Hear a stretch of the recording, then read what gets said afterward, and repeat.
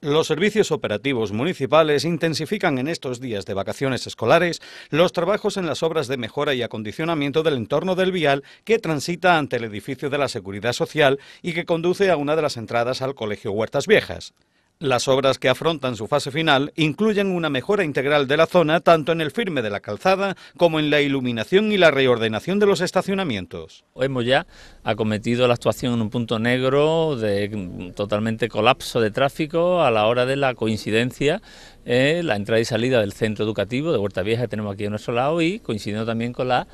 horas de mayor asistencia a las dependencias estatales como en la Seguridad Social y la Tesorería y que bueno pues esta calle terminaba en fondo de saco y no tenía ninguna posibilidad de evacuación de vehículos. Dentro de pocas semanas vamos a tener finalizada esta actuación que ya aprovechando dando una salida que vamos a dar a esta calle hacia, hacia abajo pues se va a reordenar todo lo que son los aparcamientos, se va a faltar toda la calle se van a mejorar las condiciones de luminosidad y de accesibilidad. Las actuaciones cuentan con financiación de los planes provinciales un 80% y el 20% restante lo asume el consistorio con recursos propios. La marcha de las obras se encuentran dentro de los plazos iniciales programados en un vial que en su parte más estrecha contará con 3 metros y medio de ancho. El coste de la actuación va a suponer 108.000 euros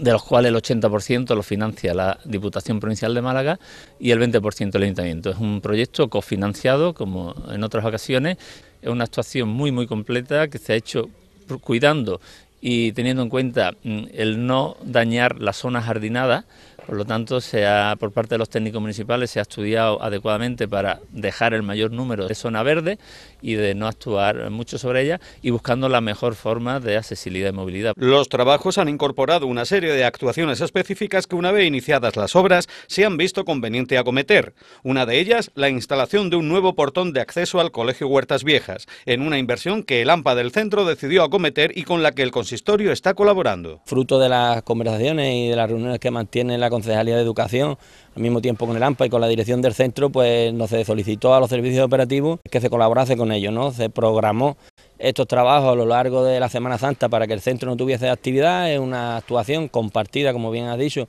conjuntamente el AMPA con el área de los servicios operativos. El AMPA con la empresa que han contratado pues van a reutilizar la puerta que ya había, la van a hacer, digamos, una puerta rígida, no va a ser abatible, de corredera y de muy poco mantenimiento y bastante segura porque cumplirá totalmente la normativa. Otra de las actuaciones incorporadas a esta obra ha sido la nueva señalización de la fuente del deseo que discurre por la zona y a la que también se ha prestado una especial atención. Hay un acuífero que históricamente ha estado aquí, que le decían, tenía puesto un monolito donde decía Fuente del Deseo, ¿no? Entonces, por parte nuestra, el equipo de gobierno, pues teníamos también especial interés en que se conservase, aunque a lo largo de estos últimos años no haya llovido mucho, pero en años anteriores era una gran cantidad de agua la que emanaba de esa fuente, se reconstruyeron monolitos y se le volverá a poner, bueno, pues su indicativo de fuente del deseo.